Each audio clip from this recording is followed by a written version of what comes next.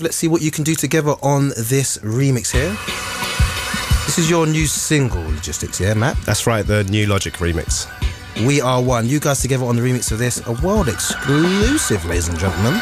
Thank you for coming in. Thank you for having us, man. Now I've got to go with the thought of you two in Commando. It's not great. but thank you for that.